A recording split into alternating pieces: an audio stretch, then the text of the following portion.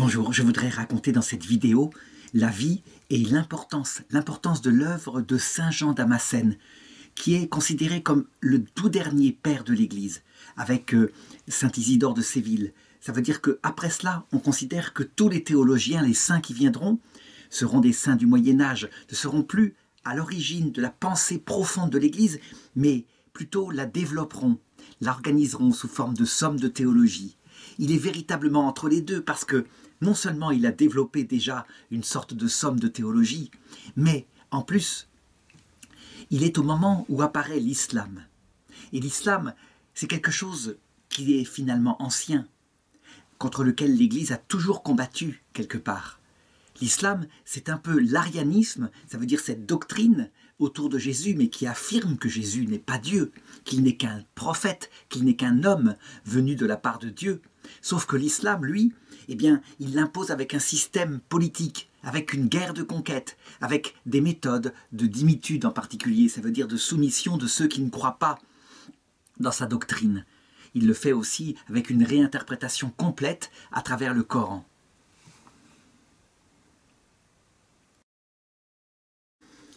Évidemment, il ne peut plus influencer la grande Église.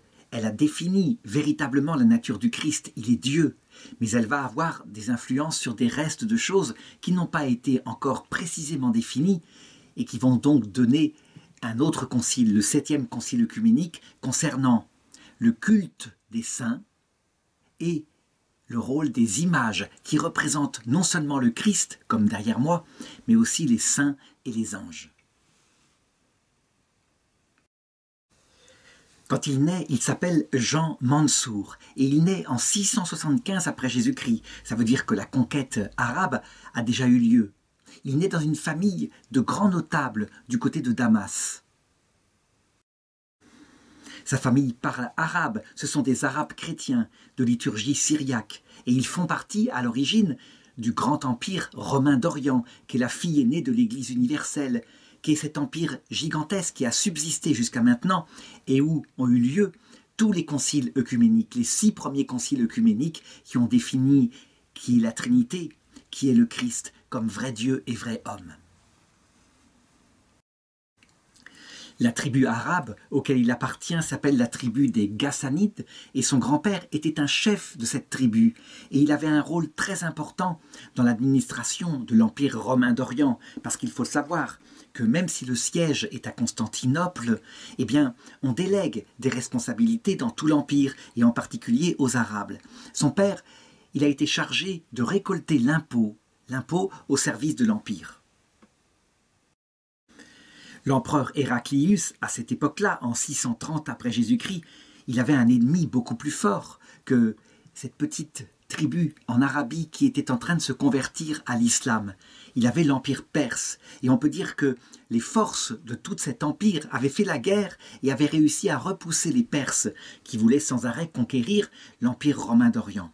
Cependant, en 635, quand était sorti d'Arabie cette tribu militaire extrêmement rapide, extrêmement forte, avec une nouvelle doctrine, une doctrine, je l'ai dit, de type arienne, qui considérait Jésus comme un homme.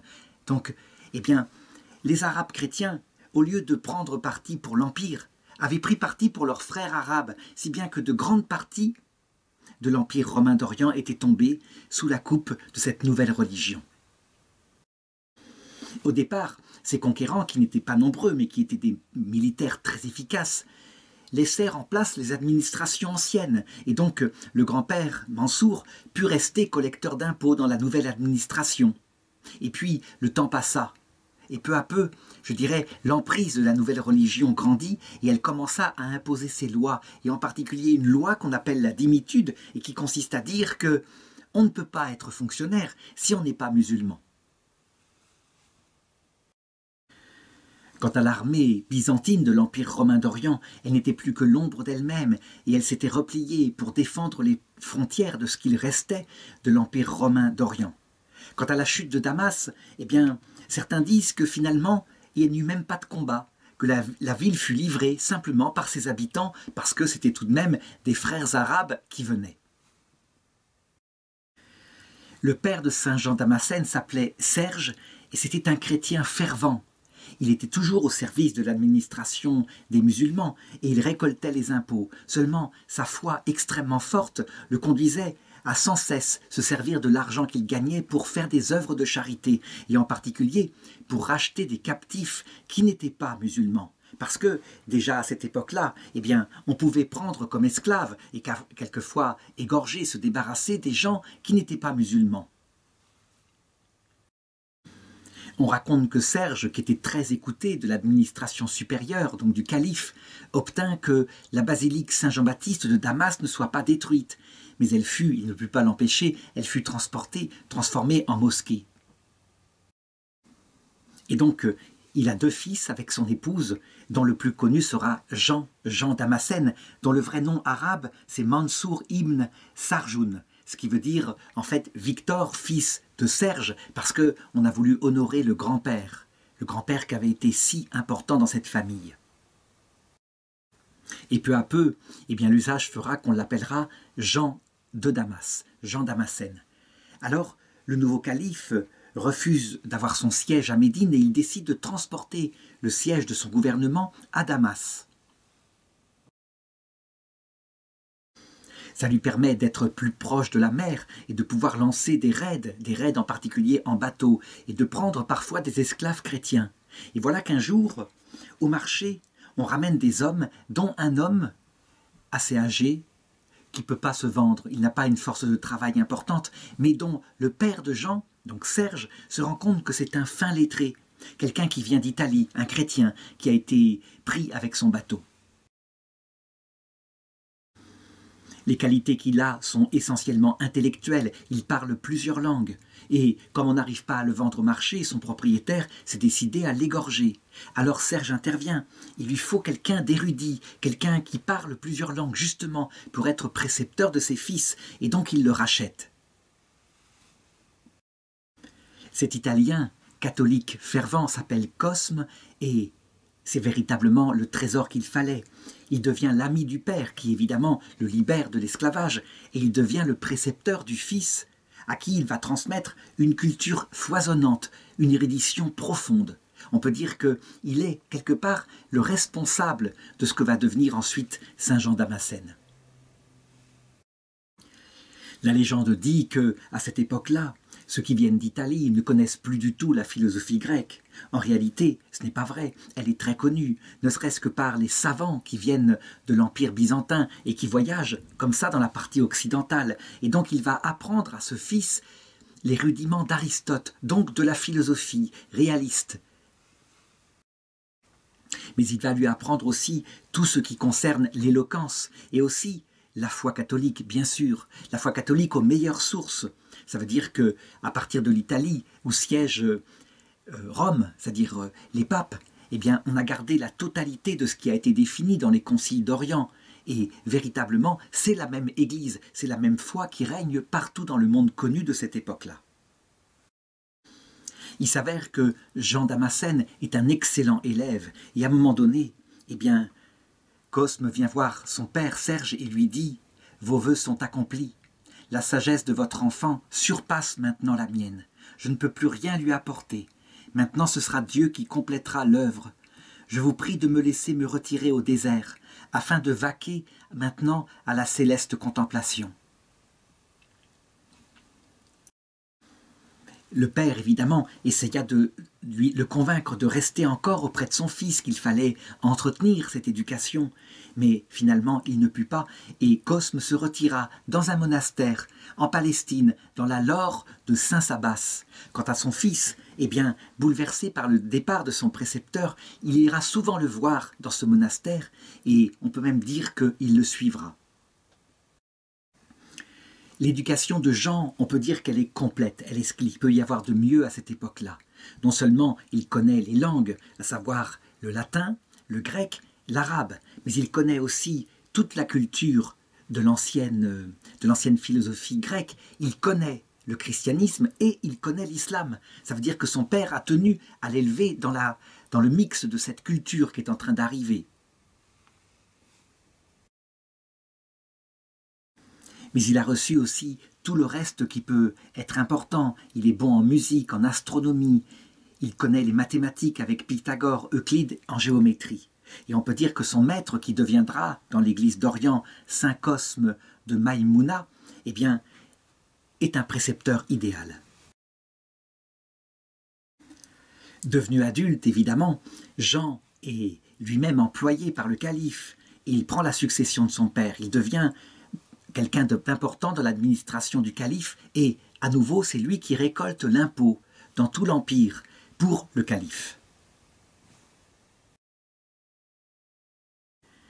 Il s'entendit très bien avec le calife Walid qui régna de 705 à 715 parce que cet islam-là était tolérant et respectait ainsi qu'il y ait dans son administration des gens qui n'étaient pas musulmans.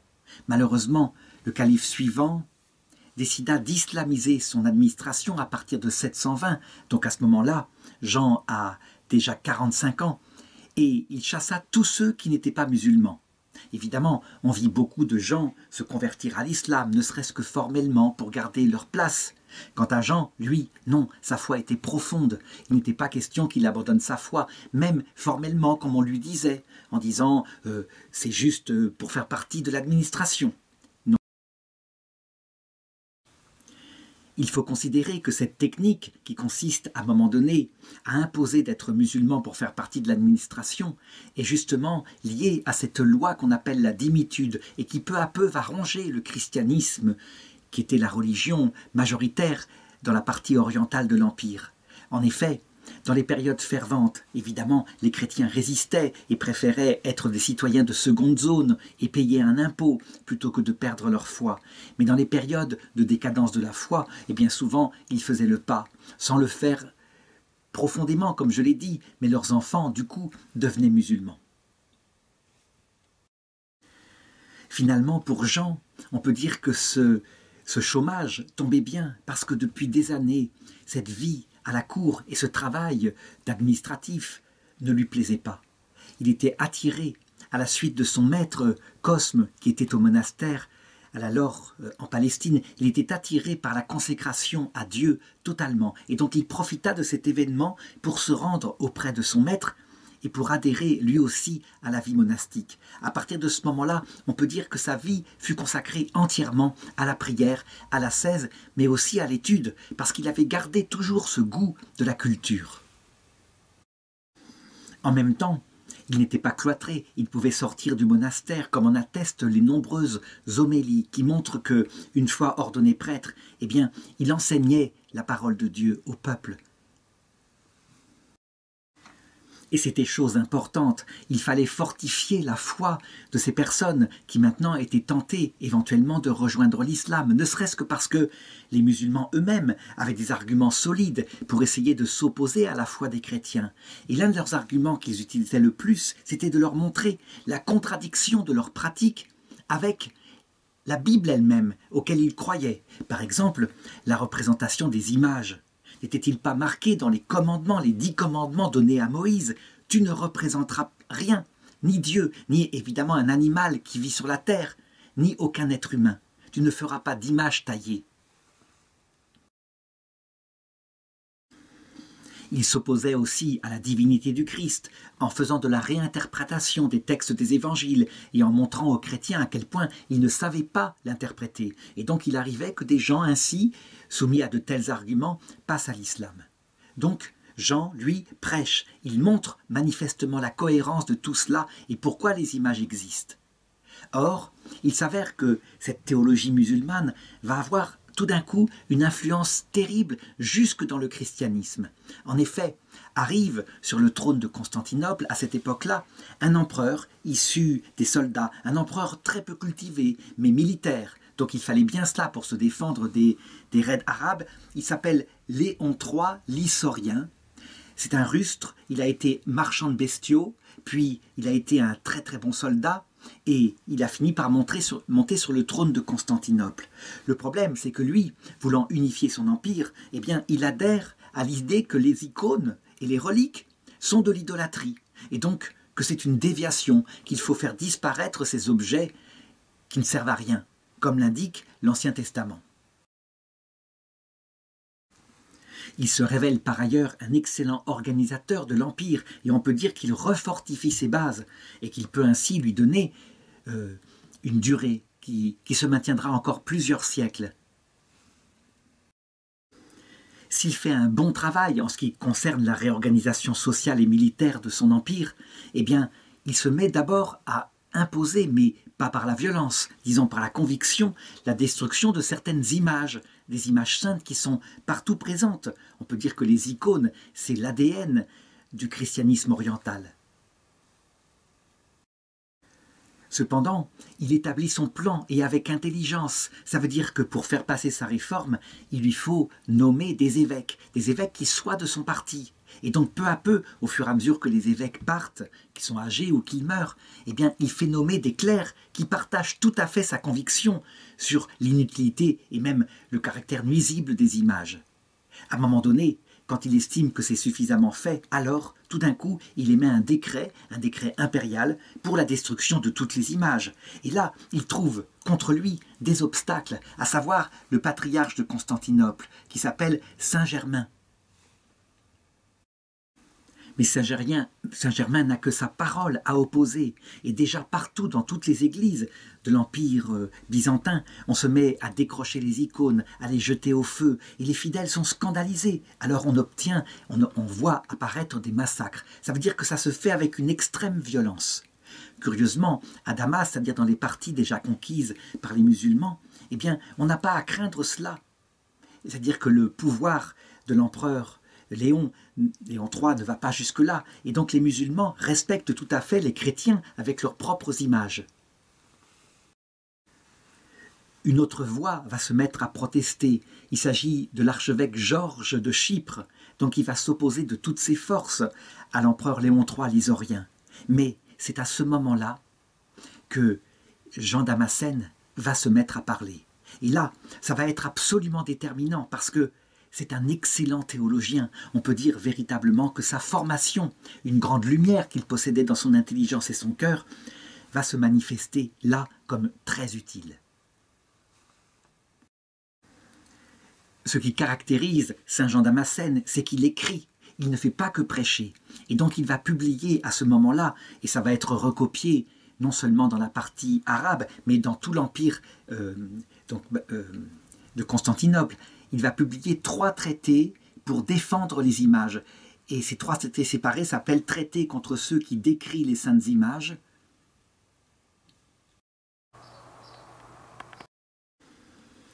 Il le fait avec intelligence et il reprend les choses à la base, parce que, à la base de tout cela, c'est le culte même des saints qui est en jeu. Pourquoi est-ce que nous honorons les saints dit-il? Eh bien, tout simplement parce que ils sont les collaborateurs de Dieu vers notre salut.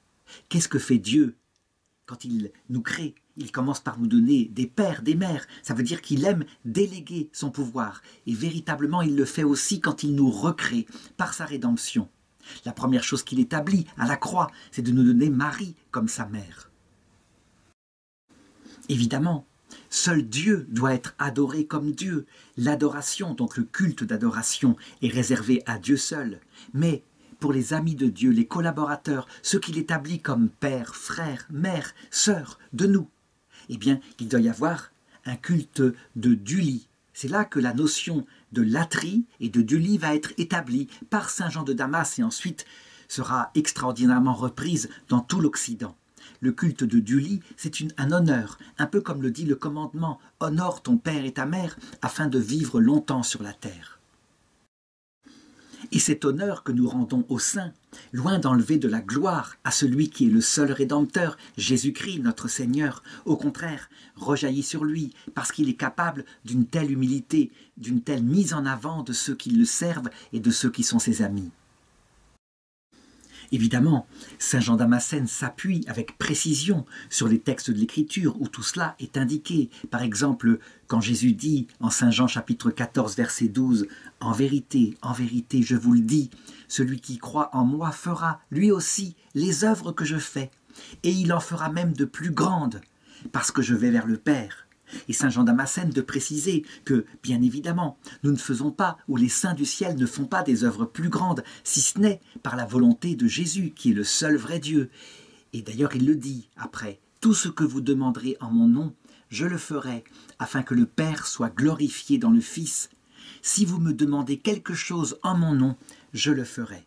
Et donc on le voit, ce culte d'honneur donné aux amis de Dieu qui nous aident rejaillit sur le seul Rédempteur qui est Jésus-Christ, puisque lui seul est source de la grâce et de la gloire. Ces trois discours vont avoir un impact extraordinaire pour revigorer la foi de ceux qui pensent que les icônes effectivement ne doivent pas être détruites, et en particulier lui qui écrit en grec les distinctions entre l'adoration, que en grec se dit latreia, et vénération, qui en grec se dit proskinesis, eh bien, cette, distinction restera à jamais dans l'Église. D'où le titre qu'on peut lui accorder à Saint Jean Damascène de Père de l'Église mais aussi de docteur de l'Église, mais ça j'en parlerai plus tard. Une fois qu'il a bien établi théologiquement le rôle du Christ, seul rédempteur, le rôle des saints et des anges, collaborateurs de sa, de sa rédemption, pour, à notre service, eh bien, il faut maintenant établir pourquoi est-ce qu'il y a des images Est-ce que c'est une chose qui ne désobéit pas au commandement sur les tables de la loi de Moïse? Eh bien, il répond il répond simplement. À l'époque de Moïse, il est bien évident qu'on ne pouvait absolument pas représenter Dieu, tout simplement parce que on ne le connaissait pas. Il n'avait pas révélé qui il était. Il ne s'était pas encore fait homme. Et donc toute représentation de l'époque était une production de l'esprit humain, donc une forme d'idole qui ne correspondait pas à ce que Dieu est en lui-même. Mais il y a eu entre-temps l'incarnation.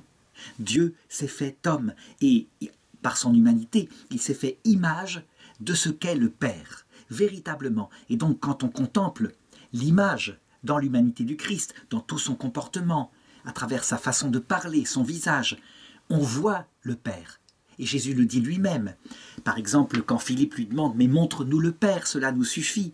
Jésus lui répond Qui m'a vu a vu le Père. Depuis longtemps, je suis avec toi, Philippe. Est-ce que tu ne comprends pas encore cela? Si tu ne le crois pas, crois-le au moins à cause des œuvres que tu as vues. Donc l'incarnation change tout, et non seulement elle change tout, donc on peut représenter le Christ, évidemment. Je dirais même que c'est nécessaire, et si on ne le représente pas comme derrière moi dans cette belle icône peinte par Sainte Faustine, eh bien, à ce moment-là, on se le représente de toute façon dans son imagination, en regardant son comportement humain, et c'est ainsi qu'on va vers le Père. De la même façon, pour les saints qui sont renouvelés et qui se forment à l'image du Christ, eh bien, l'image de Dieu est renouvelée. On sait très bien que, à la création, l'homme et la femme furent faits à l'image de Dieu. Donc la chose était présente déjà en Adam et Ève puis ce fut détruit par le péché originel. Maintenant que le Christ a tout renouvelé par sa grâce, l'image de Dieu est visible dans la Vierge Marie d'abord, l'Immaculée. Alors il n'en parle pas comme ça, mais déjà la foi en sa pureté absolue est là. Et je dirais, il la maintient, et les musulmans eux-mêmes partagent cette foi-là concernant la Vierge Marie eh bien, l'image de Dieu se voit à travers la femme par excellence qu'est la Vierge Marie, mais aussi à travers ceux qui se sont fait image du Christ, d'où la possibilité de les représenter. Évidemment, Léon III Lysorien, qui est un peu grossier, lui, il a des arguments. Il dit, mais on voit bien, les gens adorent l'icône en elle-même, matériellement, avec son bois, et il sort des textes qui sont dans l'écriture en disant, ils ont, ils ont transformé un bout de bois en une représentation immonde, et ils se sont mis à l'adorer. Et là-dessus, évidemment, Saint Jean Damascène est précis, clair, ça se résout en quelques instants. Ce sont des arguments, évidemment, qui n'ont aucune solidité. En effet, les chrétiens n'adorent pas la matérialité de l'icône quand c'est le Christ derrière moi, ni ne vénèrent la matérialité de l'image ou de la statue quand ce sont des saints ou des anges. Mais cette image sert de support pour remonter à la personne qui est présente depuis l'autre monde et ici sur cette terre réellement pour nous aider. Cette distinction très simple sera très importante d'ailleurs pour la suite du débat qui sera de plus en plus dur avec euh, d'autre part les musulmans et aussi les juifs. On peut dire que par contre dans la chrétienté orientale, ce débat se terminera avec le septième concile œcuménique dont je parlerai tout à l'heure.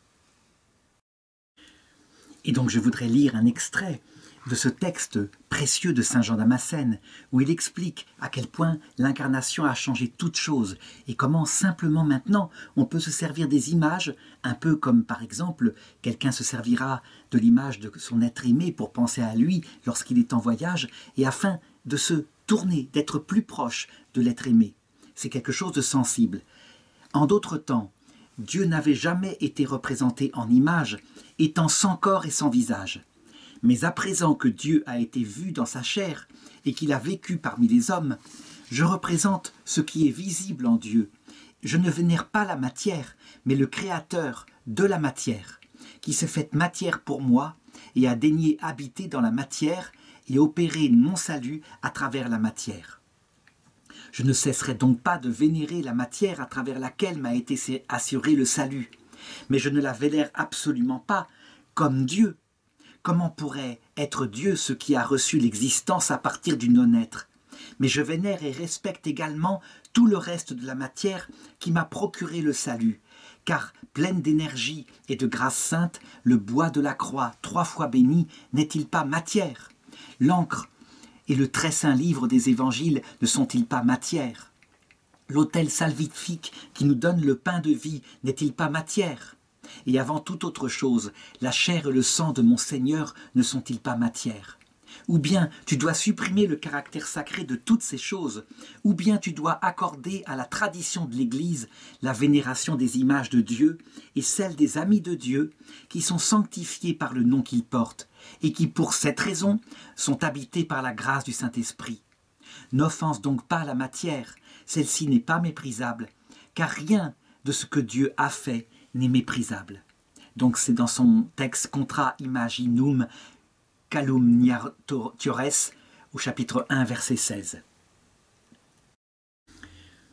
Il reste ensuite à Saint Jean Damascène à prouver une autre chose, le culte des reliques. Les reliques soit venant du corps des saints qui en sont morts martyrs, ou alors de leurs vêtements ou d'objets qu'ils ont touchés. Est-ce que ce culte-là est raisonnable? Évidemment, Léon L'empereur Léon III dit que c'est répugnant, qu'on garde pas comme ça des bouts de cadavres, que ça ne se fait pas. Alors voilà comment Saint Jean Damascène justifie cette tradition de l'Église qui est très ancienne, qui date de l'époque apostolique, où on se recueillait sur le tombeau des saints, où on apportait beaucoup d'honneur à leurs restes humains, eux qu'avaient connu le martyr. Il le dit. Le Christ est ressuscité des morts. Et ceux qui ont donné leur vie pour le Christ, ceux qui se sont fait image du Christ, ne sont absolument pas des morts. Ils participent à sa résurrection dès maintenant dans la vie éternelle où ils sont vivants et à la fin du monde par la résurrection de leur corps. Et donc les reliques, en quelque sorte, elles en sont le témoignage vivant et en plus de ça, elles portent en elles comme la vertu de l'esprit qui a travaillé lorsqu'ils étaient dans leur corps, les saints. Et je dirais, elles restent en lien avec eux par le fait qu'elles serviront pour la résurrection finale.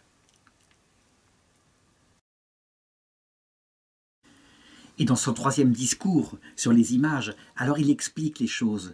Tout d'abord, nous vénérons ceux parmi lesquels Dieu s'est reposé, lui le seul saint qui se repose parmi les saints, et donc en premier lieu la Sainte Mère de Dieu et de tous les saints. Ce sont eux qui, autant que cela est possible, se sont rendus semblables à Dieu par leur volonté et par l'inhabitation et l'aide de Dieu.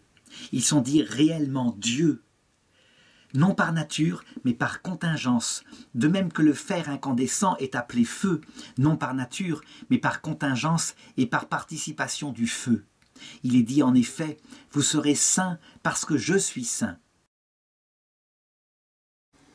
Et Saint Jean Damascène continue en montrant à quel point cet honneur que nous rendons au corps des saints, à leurs reliques, remonte encore une fois à Dieu, parce que c'est Dieu lui-même qui aurait pu rester dans sa contemplation solitaire de lui-même, qui a voulu cette gloire, cette gloire de son amour qui se manifeste ainsi, et en particulier chez ceux qui ont répondu à l'amour par l'amour.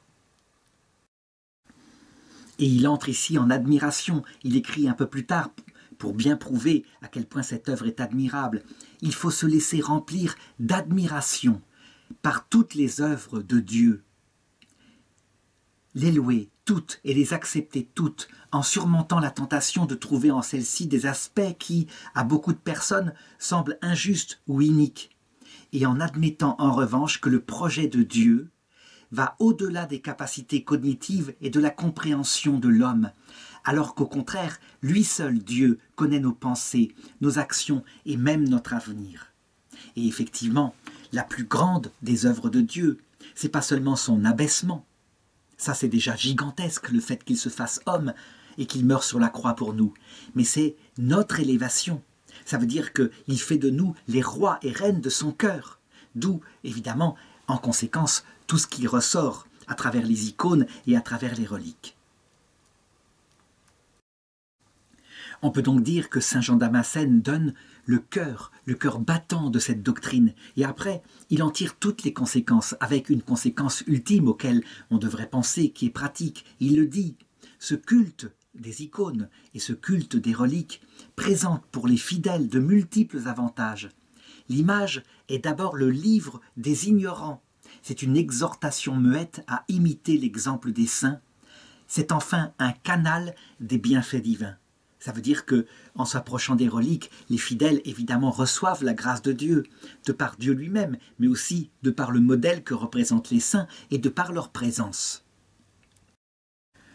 Cette doctrine, si clairement établie, si nette, si précise, va avoir un impact dans toute l'Église, mais en particulier dans les églises orthodoxes d'Orient, où on voit à quel point le culte des images est quelque chose de fort, quelque chose même qui fait partie de, je dirais, de la contemplation. Ça veut dire qu'on ne saurait séparer un orthodoxe de, la présence des images. Alors que quelquefois, dans le nord de l'Europe, on est moins sensible à ça, on est plus froid. Et c'est ça qui justement est extraordinaire dans les images et les reliques, c'est que elles sont des instruments et elles s'adaptent à la sensibilité de chacun. Ceux qu'on a beaucoup besoin en auront beaucoup, et ceux qu'on en peu besoin s'en serviront peu. Finalement, c'est une incarnation. Ça fonctionne exactement comme dans notre vie personnelle. On sait que des personnes sont moins tactiles dans les contacts humains et d'autres le sont davantage. Eh bien, la vie surnaturelle fonctionne de la même façon parce que nous sommes des êtres sensibles. Et bien sûr, ceux qui détruisent les images sont, sont impardonnables quelque part, parce que c'est comme si on forçait quelqu'un par exemple dans les tranchées de la guerre 14, quelqu'un qui a sur lui l'image de sa femme et de ses enfants, à les détruire au prétexte que ce sont des représentations idolatriques. C'est évidemment absurde. Évidemment, pour Saint Jean Damascène, avec une telle parole, un tel glaive qu'il manie efficacement, il ne peut s'attirer que des ennuis de la part de l'empereur de Constantinople, Léon III, qui va donc et c'est une légende, est-elle vraie ou fausse, mais toujours est-il qu'il va s'arranger pour essayer de faire détruire cet ennemi de sa réforme. Et il va donc produire un document, semble-t-il, où Saint Jean Damascène aurait été une sorte d'espion et qu'il aurait préparé l'armée byzantine pour l'attaque de Damas. Et ces documents arrivent comme par hasard auprès du calife. Le calife est stupéfait. Il ne fait plus confiance, évidemment, à Jean il va même le condamner à partir, et avant qu'il ne parte, parce qu'il l'a reconnu coupable de haute trahison, eh bien, il décide de lui faire couper la main droite. La punition du calife, évidemment, semble adaptée à la faute commise, puisque c'est avec cette main droite qu'il aurait écrit cette lettre afin de livrer Damas aux armées ennemies. Toujours est-il que le martyr supporte avec une grande fermeté ce martyr, enfin cette souffrance, et ensuite il retourne chez lui avec sa main, et il se met en prière devant l'icône de la Mère de Dieu, et il s'endort. Et la légende raconte que pendant la nuit, la Sainte Vierge lui est apparue en rêve et lui a dit que parce qu'il s'était fait son défenseur de manière extraordinaire en écrivant sur elle, alors il lui rendait sa main.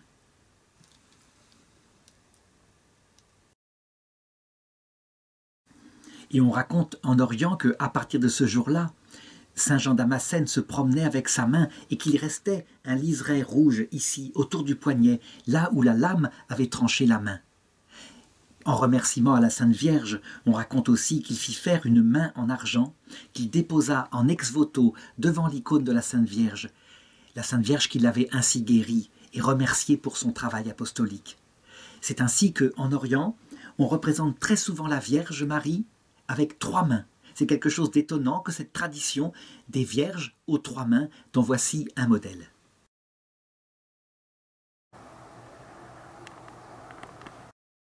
Alors évidemment, l'Église d'Orient conserva précieusement cette Vierge, cet ex-voto, et elle porte le nom de la Vierge Damascène ou de la Vierge à trois mains.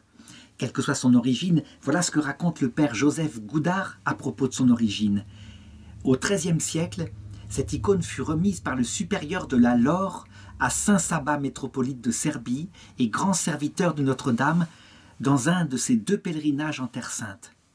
De retour dans son, pays, le prélat en fit don à son frère Étienne, roi de Serbie de la dynastie des Nemaya, Mania, lui recommandant de la garder et de l'honorer d'un culte spécial comme un très précieux trésor de famille. Plus tard, après l'extinction de cette dynastie, l'icône fut transférée au mont Athos, la montagne de Marie, et déposée au, monastère de Kilandar.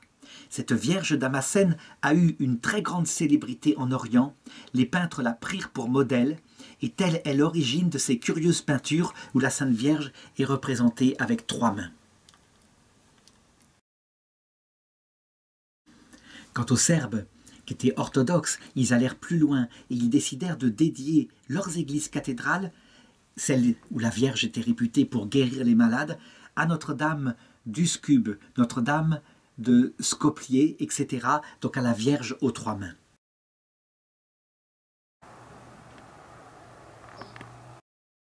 Saint Jean Damascène a tellement bien manié l'épée de la parole de Dieu et de la vérité que, évidemment, à partir de maintenant, le travail de l'empereur Léon III va se rétracter peu à peu, et la foi, la défense des icônes va se répandre de nouveau en orthodoxie.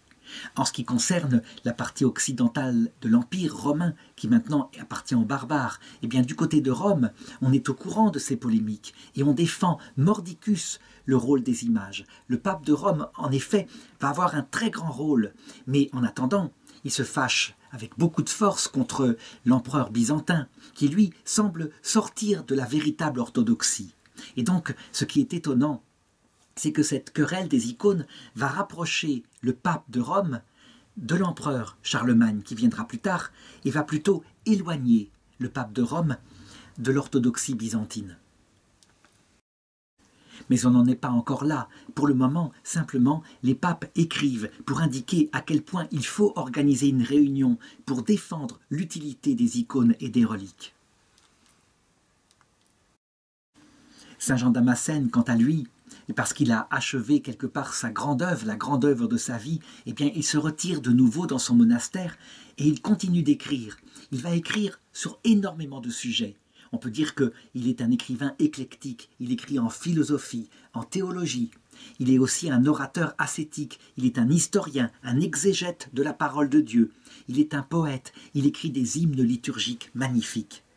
Et alors, il faut citer le principal de ses écrits dogmatiques qui s'appelle La source de la connaissance et qui est, on peut le considérer, la première des sommes de théologie. Ça veut dire qu'il aborde tous les sujets qui ont pu être traités dans la théologie par les pères de l'Église qui l'ont précédé.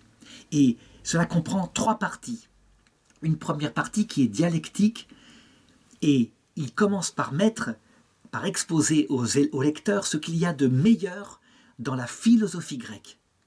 C'est à partir de là, on peut le dire, que aussi en Orient, comme d'ailleurs en Occident, on se dit que avant d'être un bon théologien, il faut être un bon philosophe, parce que quand on connaît l'homme, à partir de ce qu'on expérimente, on peut par analogie davantage connaître et comprendre la révélation qui vient s'incarner justement dans la nature de l'homme.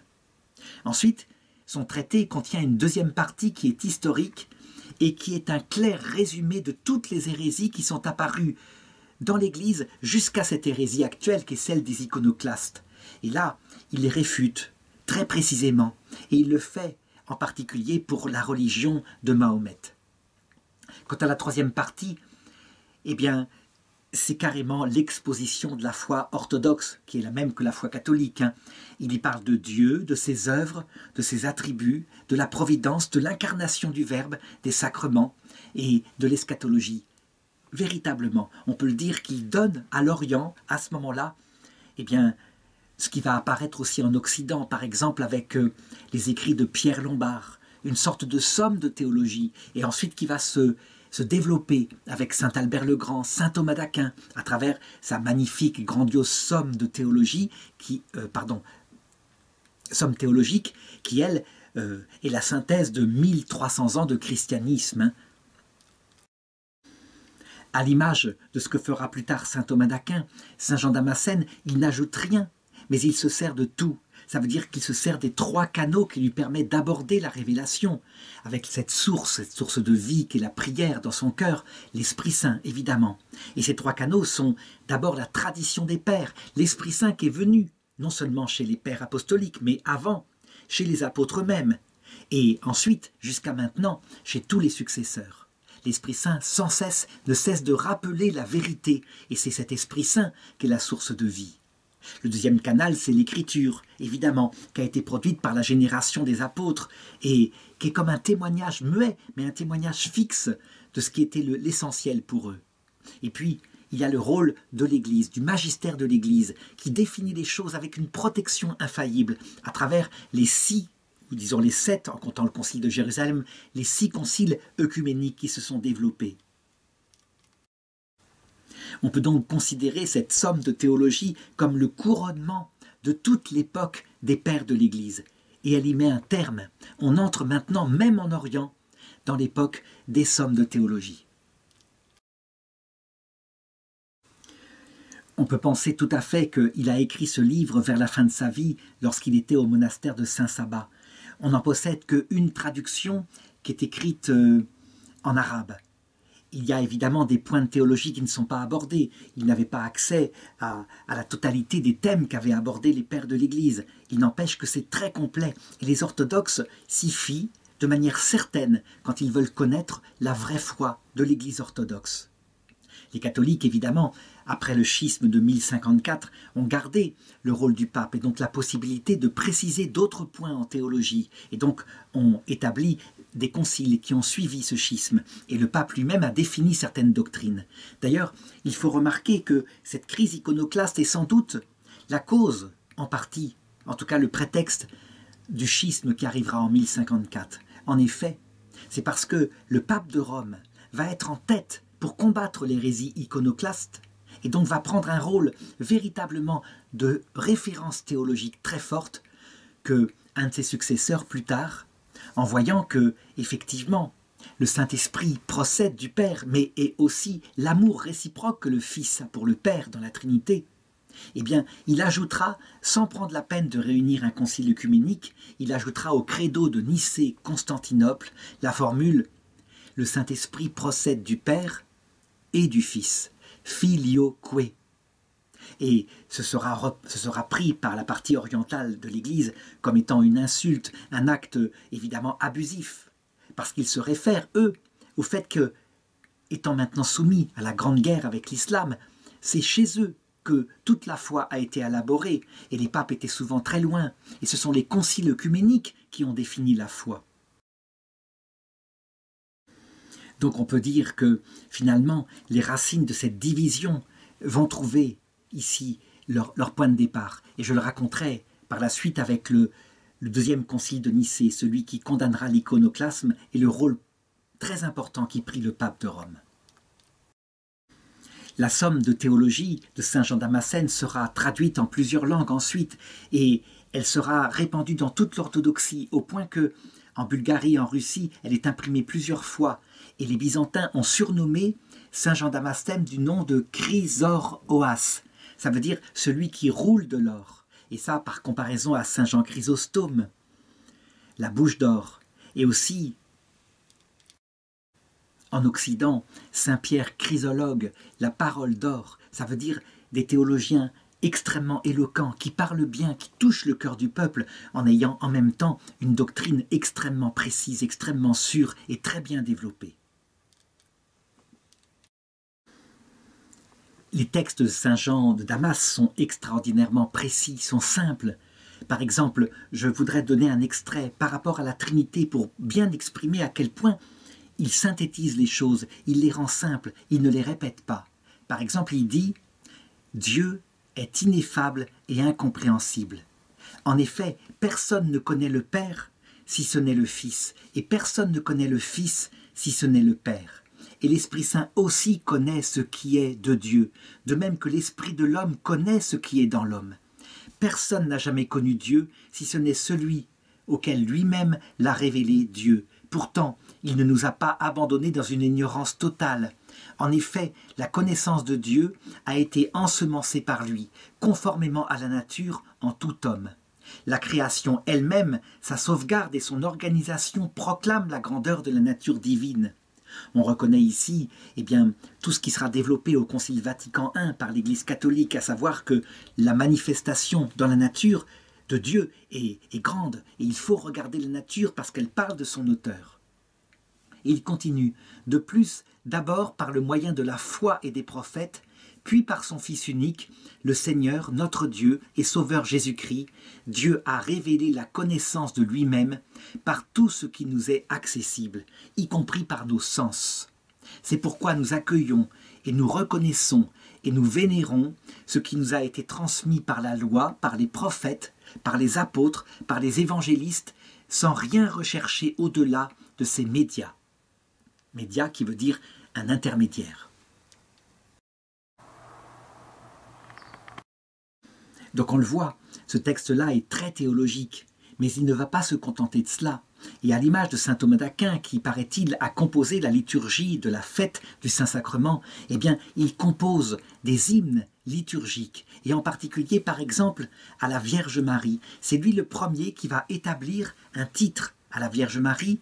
Il l'appelle la mère de la vertu théologale d'espérance.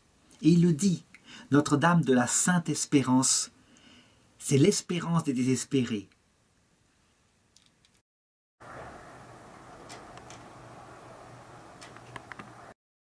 En effet, c'est elle qui, lorsque nous allons très mal, vient obligatoirement et parfaitement à notre aide. Il en sortira en Occident, évidemment, la grande prière de Saint Bernard. Sous ta miséricorde, Notre-Dame, souviens-toi que jamais on n'a entendu dire que quelqu'un qui t'a invoqué ait été abandonné de toi. Animé d'une telle confiance, je viens vers toi et me jetant à tes pieds, je te supplie d'intervenir pour moi. Alors, il écrivit aussi trois homélies sur la dormition de la Vierge. La Vierge est-elle morte ou s'est-elle simplement endormie? On sait que en Orient, on considère qu'elle n'est pas vraiment morte parce que, étant pure de tout péché, elle ne devait pas mourir et qu'ensuite elle est montée au ciel. En Occident, on a plutôt tendance à dire que elle est morte vraiment et qu'ensuite elle est ressuscitée trois jours plus tard. Les deux traditions sont présentes. En tout cas, la tradition forte de l'Orient orthodoxe de la dormition de la Vierge vient en particulier de Saint Jean Damascène.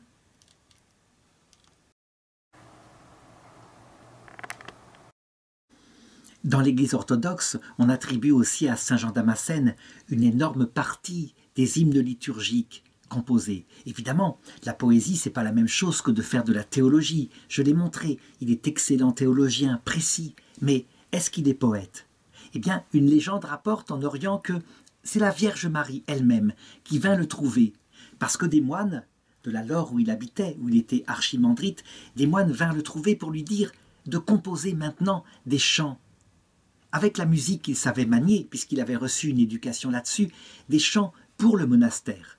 Et lui estimait indigne de cela. Alors, on raconte que la Vierge Marie vint une nuit doucement le gronder. Là où il était dans sa cellule et où il dormait, il était un homme austère, et il saisissait difficilement la portée apostolique de ce qu'il lui demandait de faire maintenant, à savoir d'écrire des poèmes et des chants pour honorer Dieu et pour honorer les saints et les anges.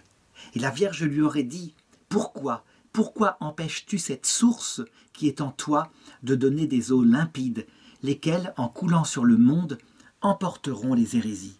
Et donc à partir de là, eh bien, il se met à composer de toutes les façons possibles une poésie, au point que les orientaux vont même lui attribuer la mise en forme, sous forme de, de notes écrites, d'un clavier, un petit peu comme les partitions qu'on voit en Occident, de la liturgie orientale.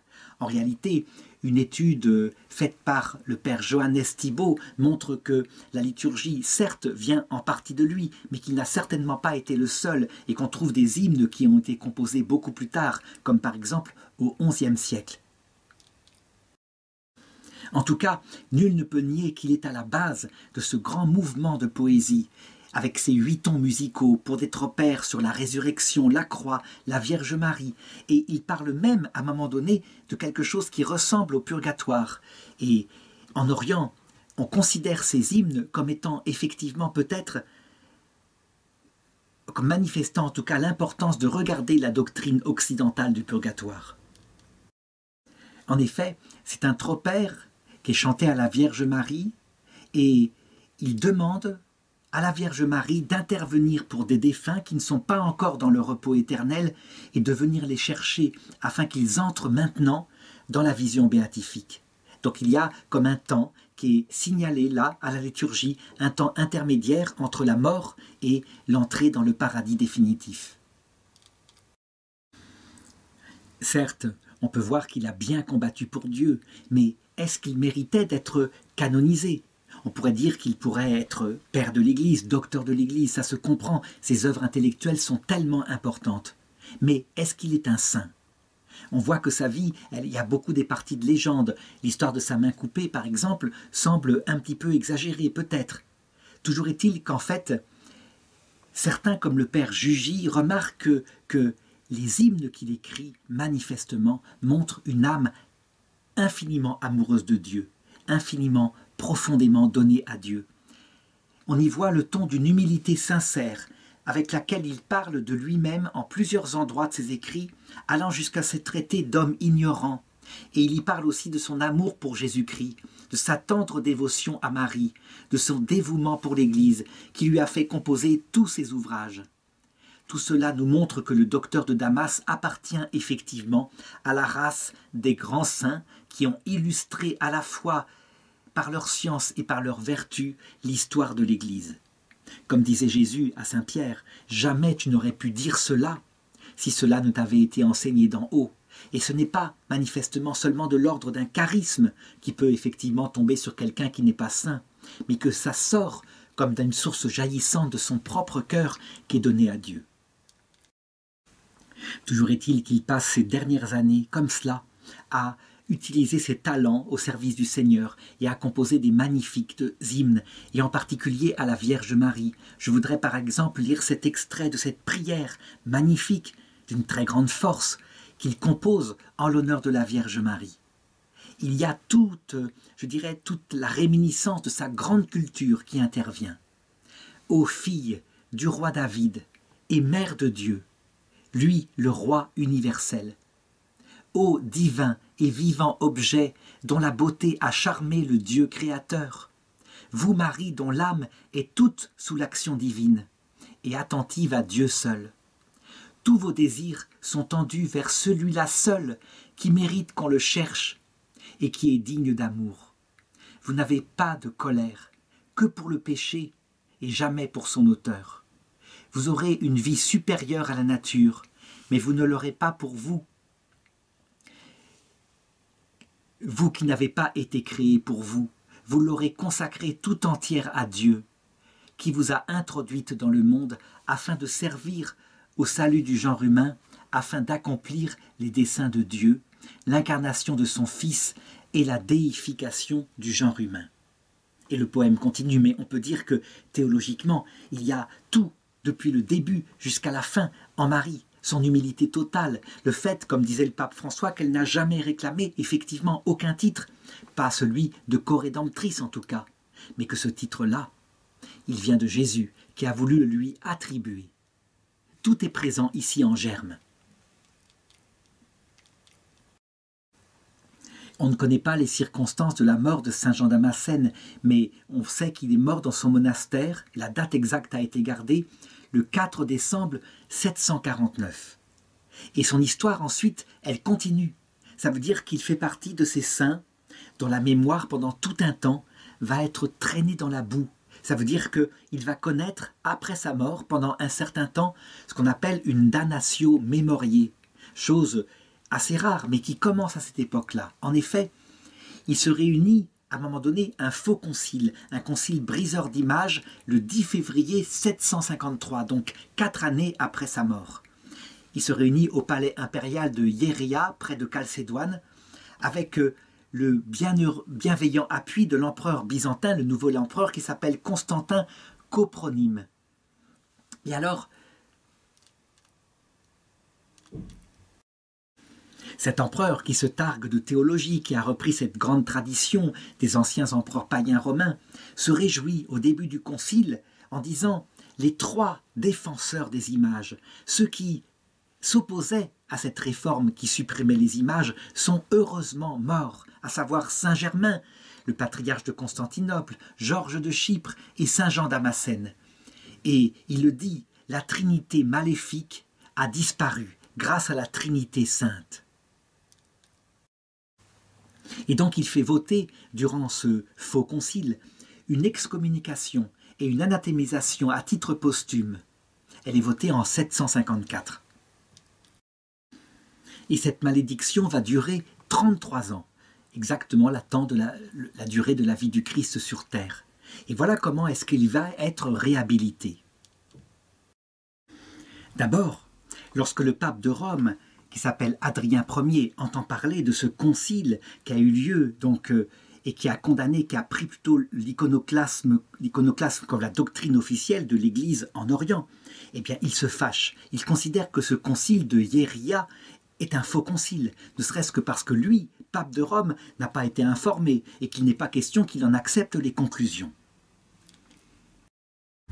Donc il considère que ce concile n'est pas œcuménique, et que surtout n'étant pas en communion avec euh, l'autorité magistérielle infaillible qui vient de la papauté qui revêt sur les successeurs de Pierre, il n'a pas de valeur. Et donc les papes de Rome qui se succèdent prennent de plus en plus la défense des images et n'hésitent pas à écrire avec fermeté à l'Église qui se trouve en Orient pour lui indiquer que un vrai concile œcuménique doit se réunir maintenant, réunissant la totalité de l'Église pour définir exactement le rôle des images.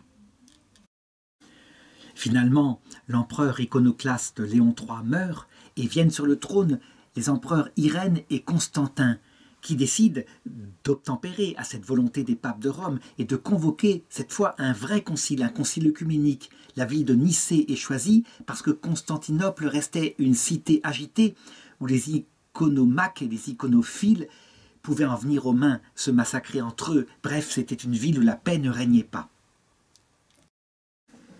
L'assemblée convoquée des évêques doit être nombreuse, plus nombreuse que le faux concile de Hieria qui avait rassemblé 338 évêques, de par les manipulations de l'empereur Léon III, bien sûr, qui avait fait de domination en vue de ce concile.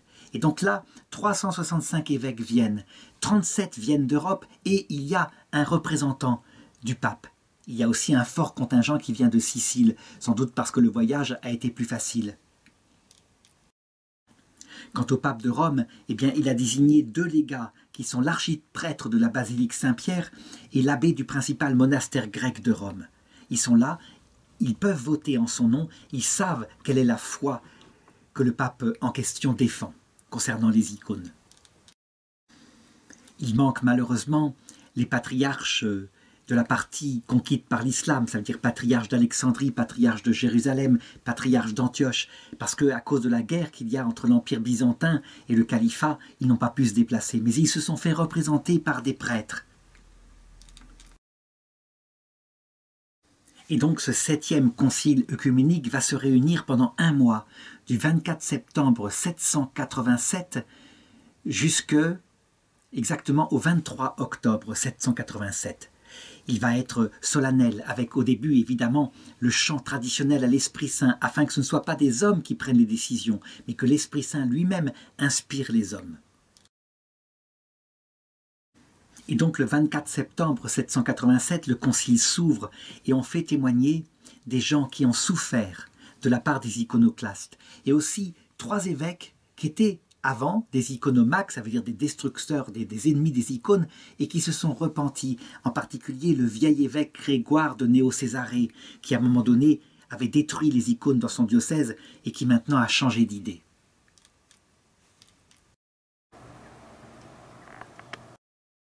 Deux jours plus tard, le 26 octobre, on lit les lettres du pape Adrien par rapport aux icônes et on décide de les faire approuver par le vote. Tandis que deux jours plus tard, eh bien, on décide, pour bien montrer le caractère œcuménique de ce concile, de permettre la réconciliation entre le vieil évêque, dont j'ai parlé tout à l'heure, Grégoire de Néo-Césarée, avec les actuels patriarches de Constantinople, afin de bien montrer que l'Église maintenant fait son unité. Le quatrième session, le 1er octobre, eh bien, est pratiquement la plus importante. C'est le cœur du concile. Ça veut dire qu'on rappelle dans la ligne de la tradition qu'il faut respecter les images car elles aboutissent à des miracles de Dieu, guérison, conversion, enseignement des masses. Et l'icône est une des traditions que les pères ont léguées à l'Église et que les évêques doivent garder fidèlement. Si bien que des citations qui ont été utilisées au faux concile de Hieria sont rejetées. Le 4 octobre, le patriarche Tharès dénonce l'origine et l'inspiration de l'iconoclasme. Pour lui, c'est quelque chose d'hérétique qui doit être rejeté, et ceux qui restent iconoclastes ne sont plus chrétiens. Ensuite, à partir de la sixième session qui commence le 6 octobre, eh bien, on établit la doctrine catholique. Et c'est là que Saint Jean Damascène va retrouver toute sa place. Ses écrits extrêmement précis vont être au cœur des travaux maintenant du Concile et vont être repris pratiquement, je dirais, intacts, en les résumant bien sûr. Et c'est là qu'il est réhabilité extraordinairement, ainsi qu'à la session suivante. Voilà ce qu'on dit de lui. La Trinité a glorifié les trois. Ça veut dire qu'on reprend ce qui avait été dit lors du précédent concile et qui manifestait l'inverse. On reprend cette formule pour bien montrer qu'en réalité, Saint-Germain ainsi que lui sont maintenant réhabilités. La sixième session de ce concile étendit l'éloge à Saint Jean Damascène, la septième session le proclama, proclama sa mémoire éternelle. Ça veut dire qu'on peut dire que ce jour-là, il est canonisé. Et enfin vient la huitième session le 23 octobre, où l'impératrice Irène, qui ne voulait pas assister aux sessions, elle laissait ça aux évêques. Elle avait compris à quel point le pouvoir politique ne devait pas se mêler des affaires religieuses. Elle demande la permission et l'obtient de participer à une cérémonie liturgique grandiose où le culte des images est rétabli officiellement dans, toute la chrétienté. Cet exemple manifeste en tout cas comment il peut arriver qu'un saint authentique de l'Église universelle puisse être pendant un temps excommunié, mis en dehors des bancs de l'Église, et qu'il faut bien le comprendre, parfois cette excommunication, cette damnation mémoriée n'est que pour un temps, afin que surgisse davantage la vérité plénière. La reconnaissance du septième concile œcuménique ne sera pas partout accomplie, on le sait, il reviendra sans arrêt périodiquement des crises iconoclastes, comme par exemple en Occident à l'époque de Charlemagne. Et on peut dire qu'à la réforme protestante au XVIe siècle, les six premiers conciles œcuméniques seront reconnus sans problème, parce qu'ils parlent du Christ, ils parlent de la Trinité, sauf peut-être une partie du concile d'Éphèse qui, est rejetée quand il déclare que Marie est mère de Dieu, comme si Jésus n'était pas Dieu. En réalité, c'est parce qu'on estime qu'on donne trop de gloire à Marie. Et puis, le septième concile œcuménique sera, en général, rejeté. Ça veut dire que les protestants refuseront aussi le culte des images en s'appuyant toujours pareil sur ce commandement provisoire, malheureusement écrit dans les dix commandements, tu ne représenteras pas d'image c'est que les protestants, se coupant évidemment de la sainte tradition de l'Église, ne savaient plus toujours faire la hiérarchie entre ce qui était provisoire et ce qui était définitif, y compris dans les dix commandements, où par exemple, je dirais, l'incarnation du Fils n'était pas encore présente. Pendant ce temps, eh bien du ciel, Saint Jean Damascène savait qu'un jour la vérité triompherait, et si elle ne triomphe pas toujours sur la terre, elle triomphe toujours à l'heure de la mort. Toujours est-il que son corps reposa pendant quatre siècles au moins à la laure de Saint-Sabbat où il était mort, et plus tard on décida de transporter ses restes à Constantinople. Pendant longtemps, l'Église catholique d'Occident ignora son nom, et ce n'est qu'en 1890 qu'il lui fut rendu justice, et sa fête fut d'abord affectée au 27 mars avant d'être déplacée au 4 décembre, ça veut dire le jour de sa mort. il a été déclaré docteur de l'Église catholique par le pape Léon XIII, justement en cette année 1890. Et véritablement, on voit à quel point il mérite ce titre.